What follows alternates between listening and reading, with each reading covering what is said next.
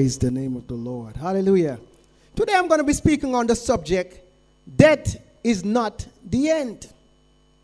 I repeat, death is not the end.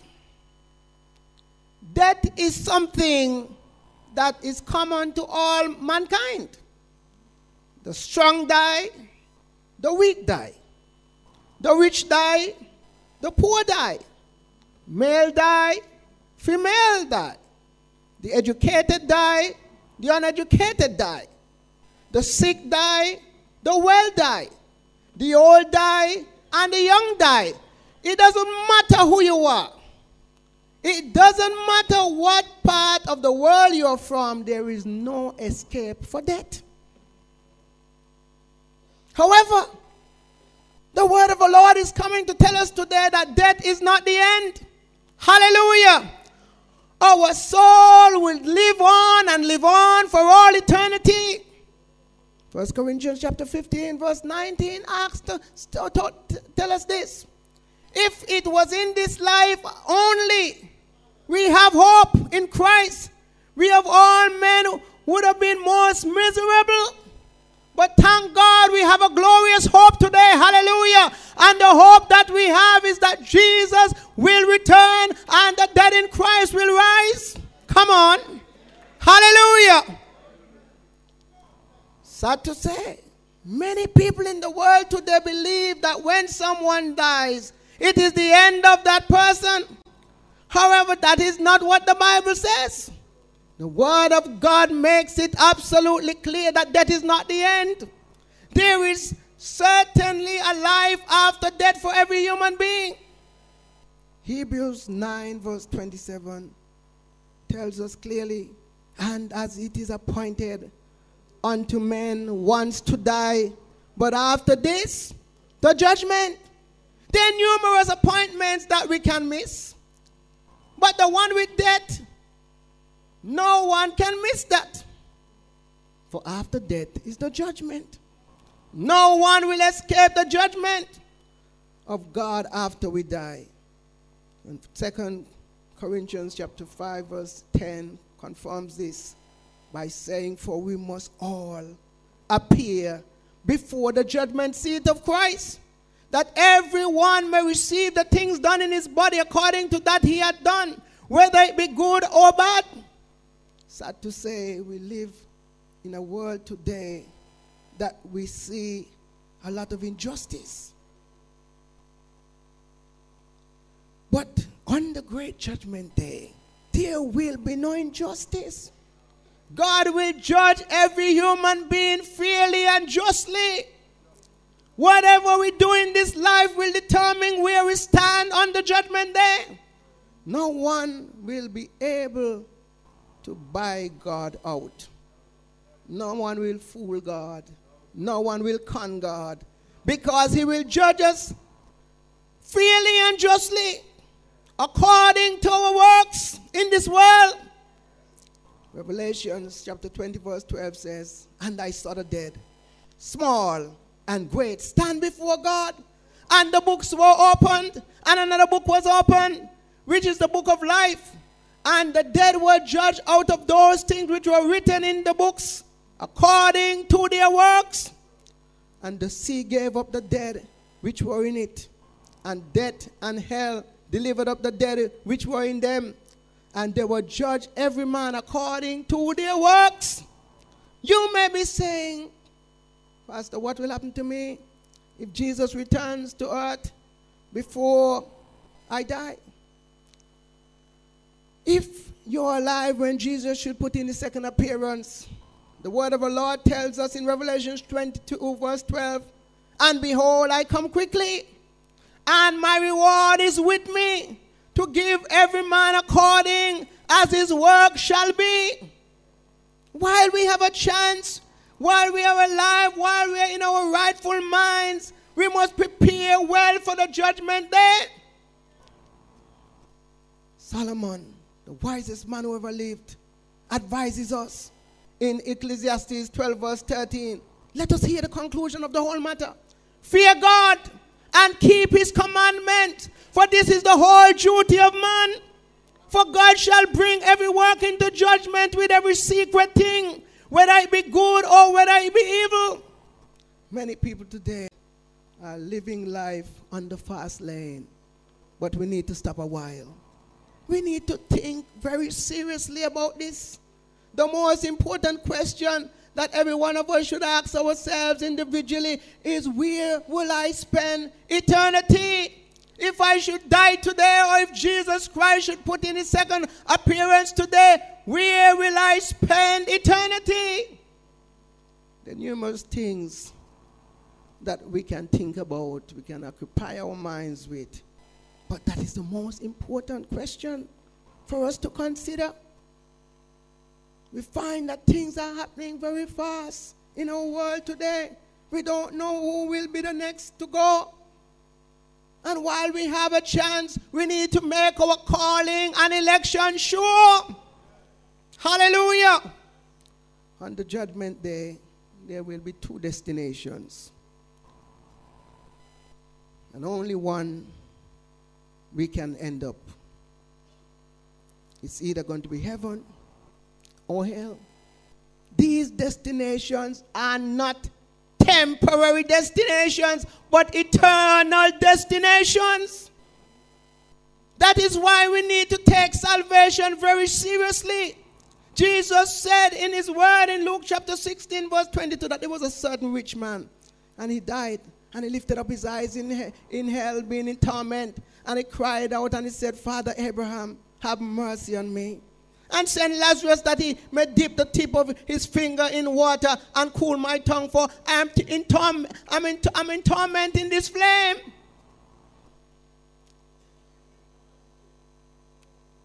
And we find that Abraham replied and said to him, You had so many wonderful things in this life.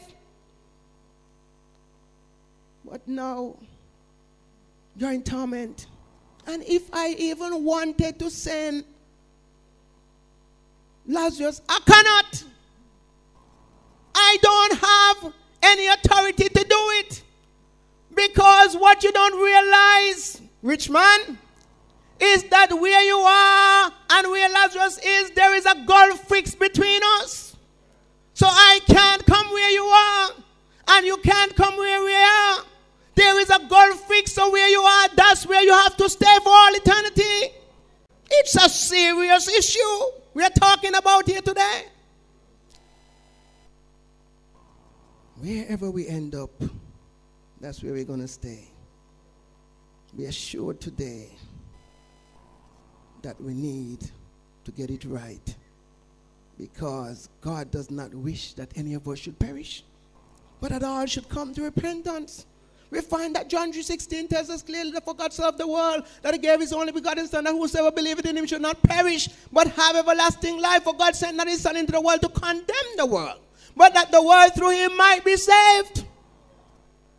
Today, in this service today, because we know that death is not the end for our sister Lavina, we are not mourning as the world who don't have no hope because we have a glorious hope. Come on, somebody. Hallelujah. We have a glorious hope.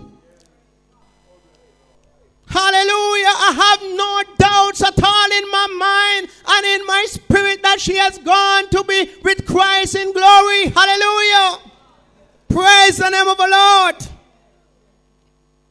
First, First Thessalonians 4, verse 13 says, But I would not have you to be ignorant, brethren, concerning them which are asleep that you should sorrow even as them which are asleep, them who are in, in the, that have no hope. You should not sorrow even as others which don't have any hope. For if we believe that Jesus Christ, Jesus died and rose again, even so them also which sleep in Jesus will God bring with him. For the Lord himself, come on somebody, Hallelujah. It's not going to be the Apostle John. It's not going to be the Apostle Paul, but the Lord Himself. Come on. Hallelujah. He's going to return again. Thank you, Jesus.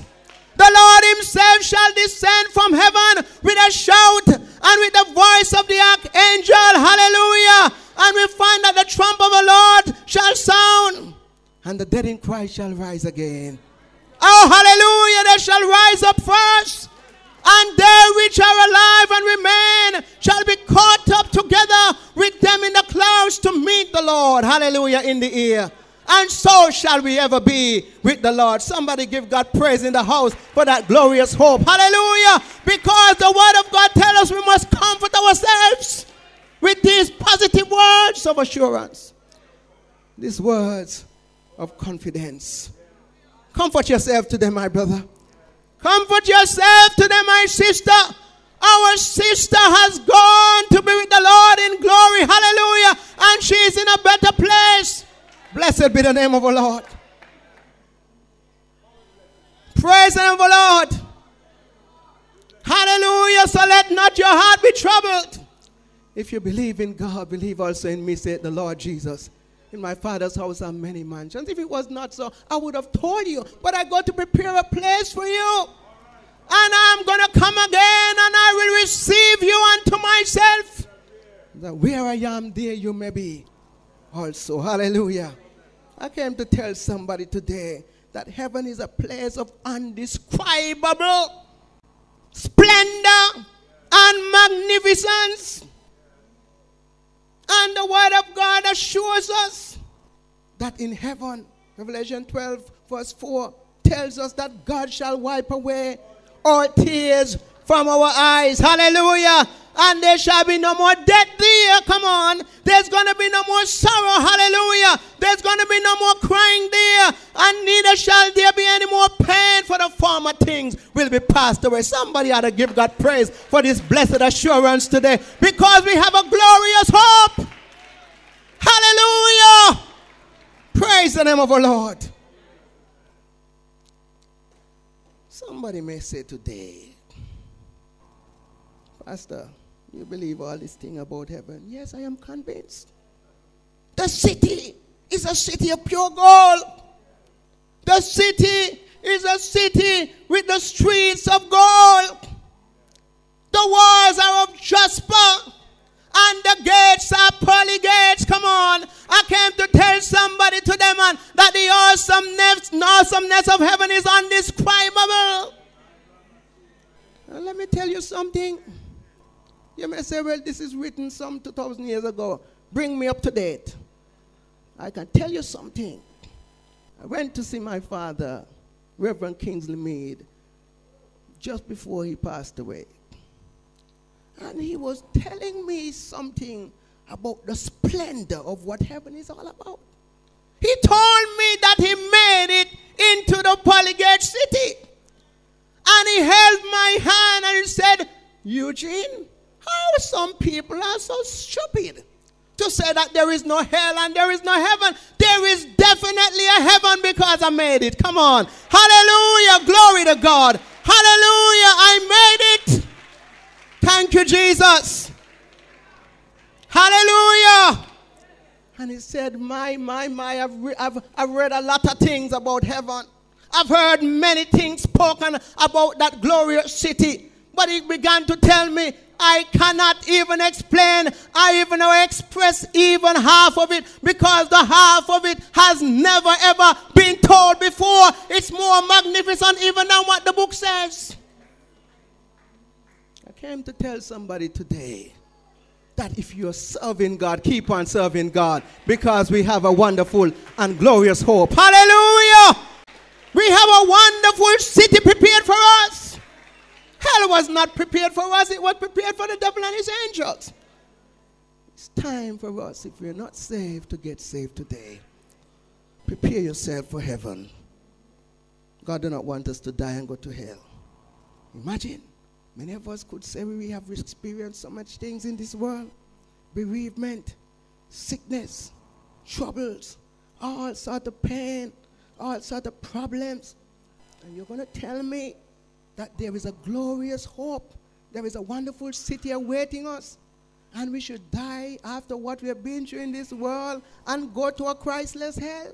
It really does not make sense to me. So we need to prepare today. We need to make our calling and our election sure.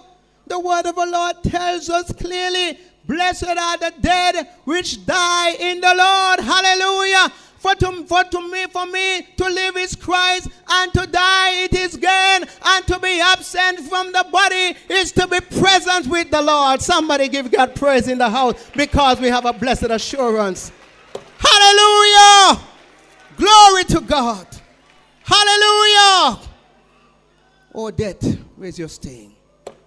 Oh, grave, where's your victory? When you're a child of God, you need not be afraid of death because you're only getting promoted into the heaven, into eternity with the Lord. Hallelujah.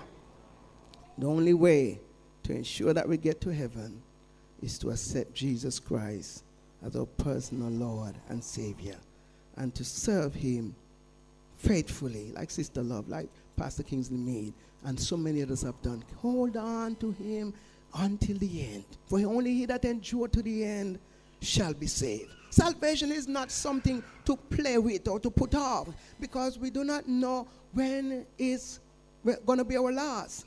One man said at one point, Let me come to Christ at a more convenient season. But the Bible never said that the convenient season never came. I came to tell somebody today, today is that convenient season and that convenient time. You don't know about any more time. You don't know what is coming up after now. Meanwhile, you have a chance. Today is a good day to make your calling an election show. Hallelujah. Praising Him for Lord.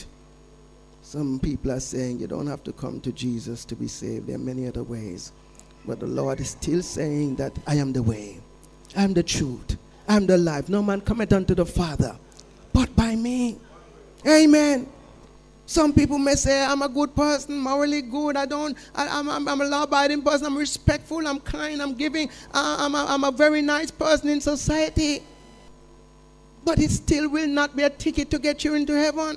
For it's by grace we are saved, not of works. How shall we escape hellfire? How shall we escape God's judgment and wrath on the judgment day if we neglect so great salvation. Salvation is a great, great, great, great, great thing. The greatest thing to achieve in this world is to have salvation and to hold on to it to the end. You will not regret it. Bow your heads with me today. Thank you for joining us and thank you for listening to this timely and powerful message. You have heard the word and now we would like to extend this opportunity to you to accept Jesus Christ as your Lord and Savior. If you wish to do this, please just say this short prayer after me. Say, Lord Jesus, I acknowledge that I am a sinner. And I thank you for dying on the cross for my sins. Please forgive me of all of my sins and cleanse me from all my unrighteousness. Save me and fill me with your Holy Spirit. I thank you for answering my prayer and I thank you for saving me. Amen. And if you have said that prayer, congratulations and welcome into the family of Christ. If you would like to contact us or even visit us, the information that you need will be on your screen in a few seconds. Until next time, goodbye. God richly bless you.